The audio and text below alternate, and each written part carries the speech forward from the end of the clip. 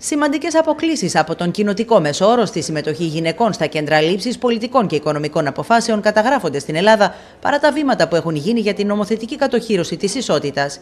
Την ώρα που χώρες της Ευρωπαϊκής Ένωσης έχουν συνταγματικά θεσπίσει τη γυναικεία συμμετοχή στα κοινοβούλια στο 50%, στη χώρα μας τα στοιχεία είναι αποθαρρυντικά για πάρα πολλούς λόγους που είτε συνδέονται με τα στερεότυπα είτε συνδέονται με ενεργητικές πολιτικές που δεν υπάρχουν στη χώρα μας.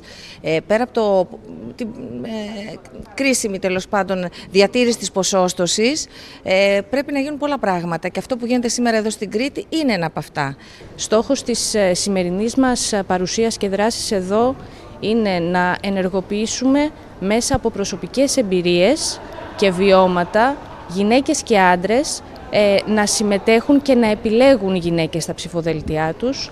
Οι γυναίκες πρέπει να πιστεύουν ότι μπορούν, οι γυναίκες μπορούμε, είμαστε δυνατές και πρέπει να συμμετέχουν στα κοινά. Εγώ αυτό θα έλεγα και μπορούν να προσφέρουν και να γίνουν ε, παράδειγμα και σε άλλες για να ακολουθήσουν.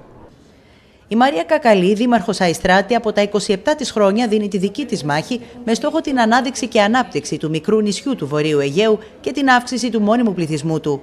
Δεν το εξέλαβα ως, ως αρνητικό, ε, ως, ως ελάττωμα, αλλά προσπάθησα να το χρησιμοποιήσω ε, για το καλύτερο του νησιού, να αγωνιστώ, να παλέψω, να μάθω για να πετύχουμε τους στόχους μας.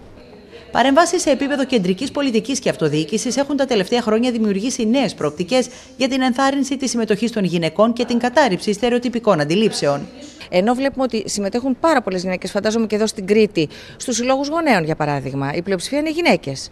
Ω ένα βαθμό ε, κάνουν το πρώτο βήμα. Για να πάνε πιο πέρα είναι δύσκολο γιατί τους τραβάνε πίσω υποχρεώσεις της οικογένειας. Αν η πολιτεία έχει λύσει τα θέματα της φροντίδας των παιδιών, της δημιουργικής απασχόλησης, της φροντίδας της τρίτης ηλικίας, της φροντίδας των ατόμων με αναπηρία, τότε καταλαβαίνετε ότι η γυναίκα δεν θα είναι εγκλωβισμένη. Αυτό που θα ήθελα να δω κάποια στιγμή στα Χανιά θα ήταν περισσότερες γυναίκες μεν στο Δημοτικό Συμβούλιο, αλλά θα ήθελα αργότερα να δω και μια γυναίκα δήμαρχο.